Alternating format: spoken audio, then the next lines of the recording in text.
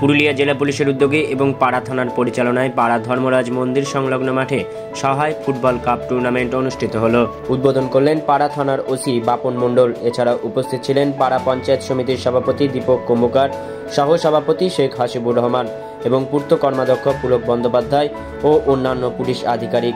এই খেলা দেখার জন্য প্রচুর দর্শক মাঠে ভিড় করে।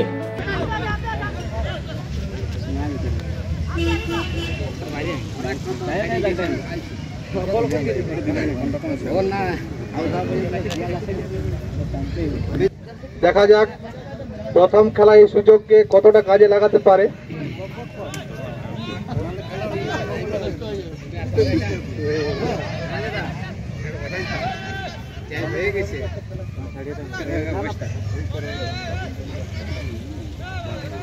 ঠিক বলছি তোমার ফাইনাল করেছে কলকাতার কোনো আর্টিস্ট বুঝলে?